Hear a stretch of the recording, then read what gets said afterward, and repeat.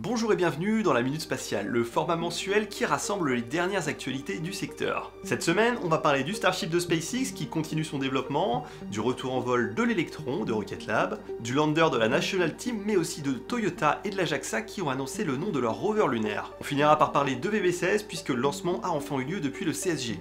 Sans plus attendre, générique.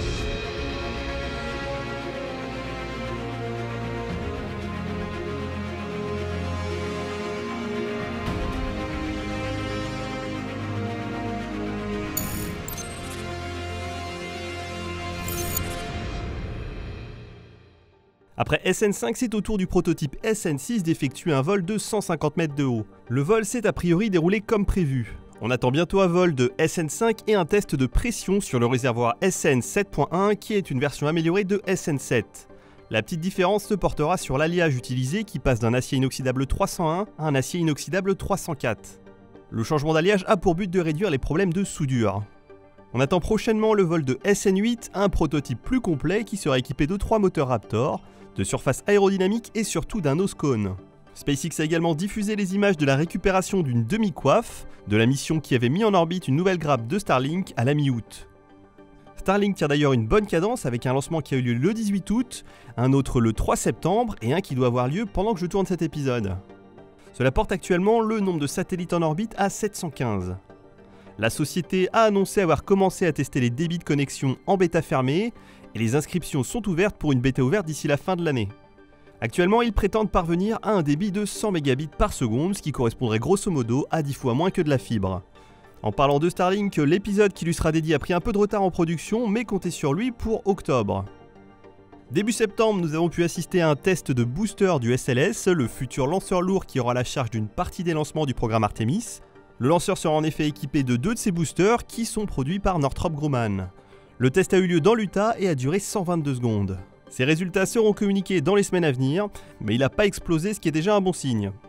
Et pour rappel, il est prévu que le SLS effectue son vol inaugural en novembre 2021, à l'occasion de la mise en orbite autour de la Lune d'une capsule Orion non habitée. Bon, ne vous attachez pas trop à cette date, on a l'habitude des retards avec ce programme. Rocket Lab a repris du service le 31 août avec le lancement réussi d'Electron et de sa mission I Can't Believe It's Not Optical. C'est le premier vol depuis l'échec de juillet dernier qui avait résulté en la perte de la charge utile. Ils n'ont pas tardé à trouver l'origine de l'échec, il s'agissait a priori d'une panne électrique. Le vol a donc été nominal et a placé en orbite le satellite Sequoia de la société Capella Space, qui vise à proposer des services d'observation de la Terre.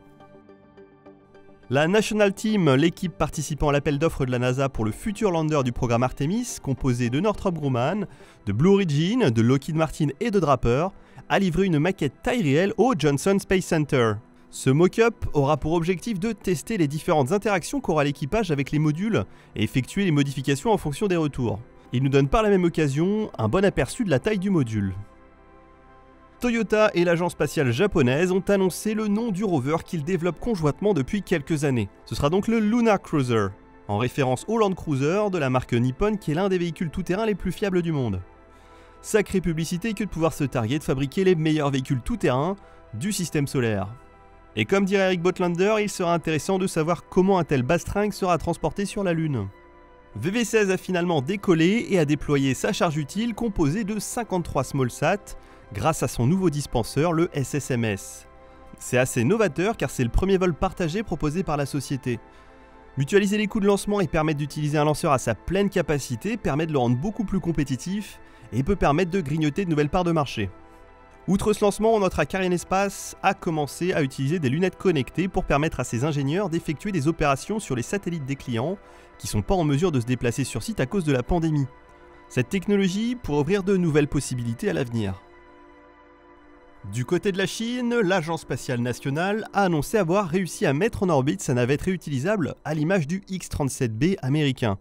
Il n'y a aucune image disponible à l'heure actuelle, ni aucune information sur la mission réelle de la navette. Je vous tiendrai au courant dès que j'en saurai un peu plus. Sur ce, je vous laisse et je vous donne rendez-vous pour le prochain épisode de la Minute Spatiale.